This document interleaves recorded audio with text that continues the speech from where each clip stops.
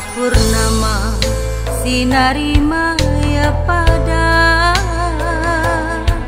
Dalam kilau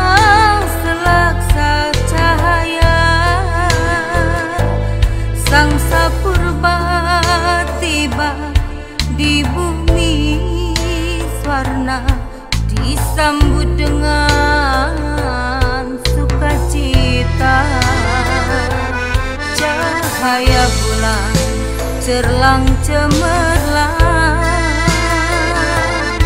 sungai tatang mengalir tenang bukit seguntang gilang gemilang wan sendari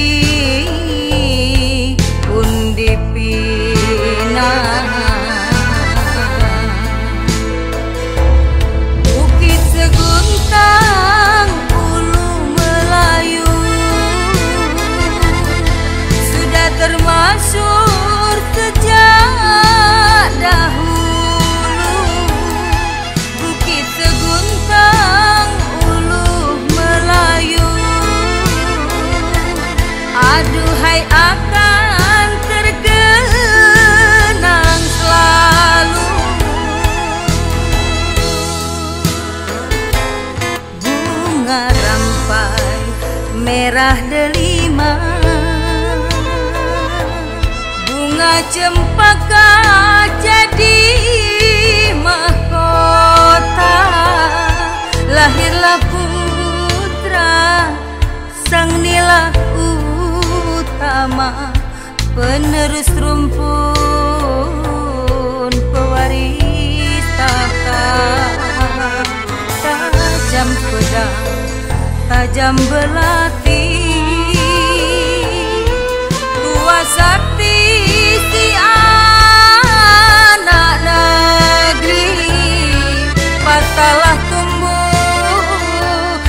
hilang berganti takkan melayu. Hilang di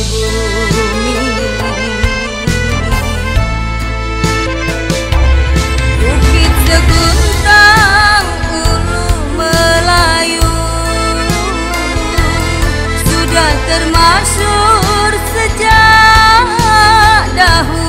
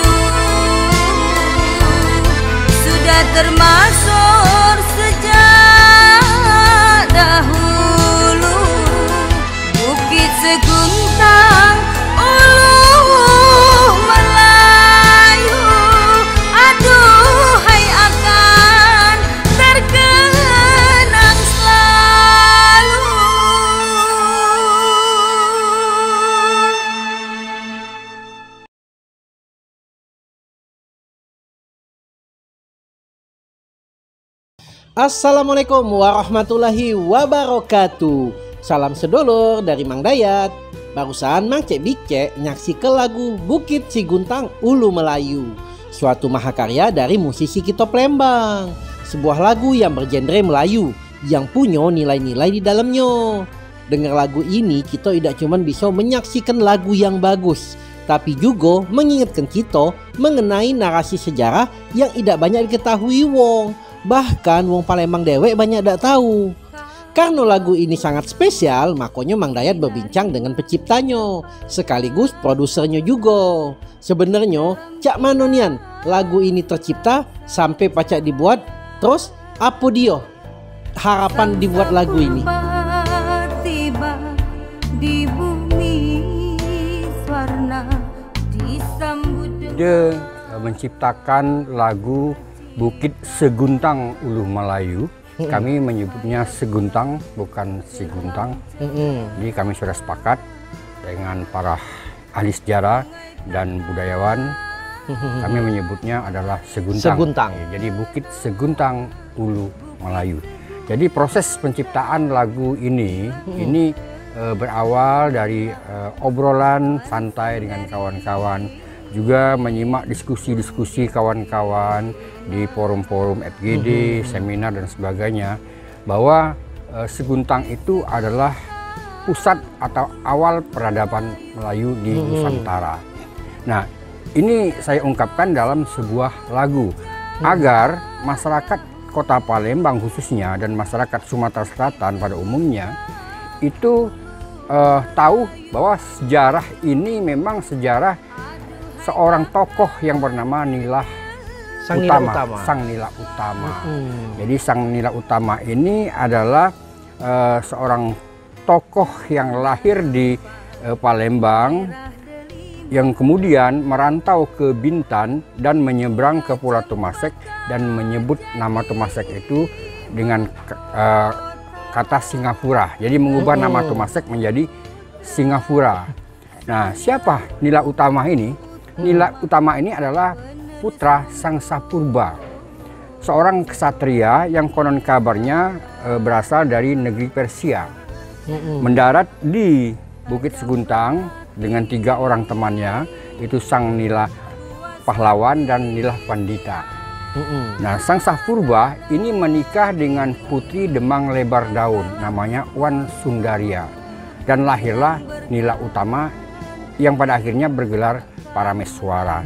Yang saya sebutkan tadi, eh, berlayar ke Bintan, kemudian berlayar ke Tumasek dan mengubah nama Tumasek menjadi Singapura, mendirikan sebuah kerajaan, eh, mendirikan sebuah bandar di Singapura sehingga bandarnya dimaju maju pesat. gitu. Artinya Kando tuh buat lagu ini bukan sembarang lagu, memang ada ceritanya. Iya. Memang tujuannya nak kenal ke sejarah kita Palembang. Jadi lagu ini lagu kedua yang memiliki konten sejarah setelah lagu apa namanya lagu Gending Sriwijaya. Mm-mm. Lagu Gending Sriwijaya. Jadi lagu ini konten sejarah yang wajib kita ketahui. Mm-mm. Jangan orang Palembang tidak tahu siapa Nila Utama, siapa Parameswara. Mm-mm. Nah inilah sejarahnya. Jadi- Saya ungkapkan dalam lagu. Belajar sejarah dengan lagu. Belajar sejarah dengan dah. lagu. Gitu. Nah, Artinya kan ini bukan sembarangan bernilai budaya.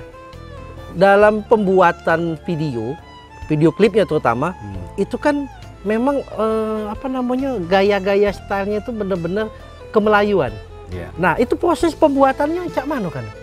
Jadi eh, lagu Bukit Seguntang Hulu Melayu ini saya pilih musiknya adalah musik Melayu. Jadi genre Melayu biar dia apa pas dengan apa dengan dengan tema lagunya. Bukit Seguntang Ulu Melayu.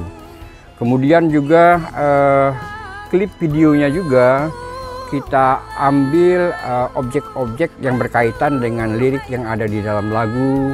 Eh, kita ambil apa namanya eh, lokasi di Bukit Seguntang, kemudian ada Bukit Seguntang dilihat dari atas, kemudian ada sketsa. Itu yang terpenting. Ada sketsa eh, berupa apa narasi tentang eh, perjalanan Sang Nila Nila Utama. Utama. Iya, Sang Nila Utama mulai dari eh, orang tuanya menikah sampai lahir, kemudian mereka menetap di Pulau Tumasek. Mm-mm, Jadi walaupun lagu Iya. cuma 4 menit ya salah ya. Iya, empat menit. 4 menit itu artinya menyimbolkan perjalanan Hmm. para meswara itu tadi. Iya, iya, iya, iya, iya. Jadi Mang Cek Bicek memang salah satu bentuk kita kalau malas belajar sejarah nonton dengar lagu ini. Dengar lagu itu. Nah, ini lagu-lagu wajib bagi orang Palembang, bagi orang Harus, Sumatera ya. Selatan karena inilah kebanggaan kita. Ini Mm-mm. seorang tokoh dari Palembang ini bisa membangun Singapura, bisa membangun Malaysia menjadi sebuah Kerajaan besar dan menurunkan raja-raja Melayu di Nusantara. Yang ceritanya jarang diangkat. jarang diangkat. Di sekolah B tidak dipelajari. tidak dipelajari. itu Betul. tidak dipelajari. Nah, Kando harapannya, Kando kan buat lagu ini ceto eh, ada yang namanya berkorban waktu, berkorban pikiran, berkorban materi. Ya. Artinya ada mimpi, ada harapan dengan lagu ini. Apalah harapannya kan? Nah, jadi eh, lagu ini dikemas dengan lirik yang apik, yang berbasis pantun gitu ya, Mm-mm. berbasis pantun. Karena memang apa salah satu eh, karakter lagu Melayu itu berbasis pantun.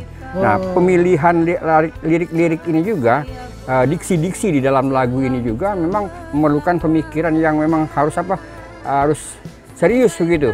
Jadi memadukan kajian kata- ya? dengan kajian-kajian dan karena harus dikaitkan dengan sejarah. Iya. Nah, kronologi cerita di dalam lagu itu. Iya, iya, iya. iya. Jadi ini eh, tantangan bagi saya. Jadi eh, dalam proses pembuatan lirik, kemudian penciptaan nada-nadanya, ini memang memerlukan eh, waktu yang memang cukup panjang bagi saya. Hmm, Nah, itu. hmm, Nah, hmm. Dan harapannya Mace Bice makin banyak wong-wong Palembang yang kayak Pak Pir ini. Berkarya untuk bukan hanya lagu-lagu cinta, tapi Iya. ada misi kalau kita tuh dakwah di bidang sejarah budaya. Iya dah. nah, mudah-mudahan eh, ini kita bisa saling ngangkat. Ya, Mace Bice angkat sebarkan lagu-lagu ini biar wong Palembang tahu dengan sejarahnya. Dan mudah-mudahan dengan seperti ini eh makin semangat Eh, apa namanya Iya, iya, iya. seniman-seniman lain Iya, iya. untuk Nah ini perlu saya tambahkan, Nah. orang-orang Melayu Singapura, Hmm. orang-orang Melayu dari Malaysia, itu setiap tahun datang berziarah ke Bukit Seguntang, ke Mm-mm. tanah leluhur mereka. Mm, mm, mm. Berziarah kepada siapa? Kepada asal muasal Sang Nila Utama. Mm-mm. Nah, kenapa kita orang Palembang tidak bangga dengan ini? Iya. Jadi tanpa mengklaim bahwa Sang Nila Utama yang membangun Singapura itu adalah orang Palembang, nah mereka sudah mengakui. Mereka bahwa- dewe yang mereka ngomong. dewe ngomong. Bukan kita macam-macam. Bukan macam-macam. gitu. Jadi eh, di Singapura itu ada eh, lima patung ya. Mhm. Yang patung ini dibangun di tepi sungai di Singapura. Nah, itu paling besar itu paling depan itu patung Nila Utama atau Parameswara. Itu bukti mereka Iya. mengakui. Mengakui. Di belakangnya ba- baru patung Raffles. Oh. Jadi Raffles itu hanya sebagai penerus, penerus Mm, mm, mm, orang mm. yang membangun Singapura. Iya. Jadi orang yang pertama membangun Singapura itu adalah Nila Utama. Wah. Gitu. Kurang bangga apa lagi? Orang bangga apa lagi? Iya. Nah, alhamdulillah. dah, Mang Cek. Jadi mudah-mudahan ya ini bisa menambah kasanah pengetahuan kita tentang Kota Palembang. Sudah cerita sejarah, cerita lagu dan juga kebesaran Sanila Utama di sana. Mudah-mudahan bisa menjadi manfaat. Kalau ada salah-salah kata baik dari narasi ataupun video, kami memohon maaf kepada Allah, kami mohon ampun. Wassalamualaikum warahmatullahi wabarakatuh.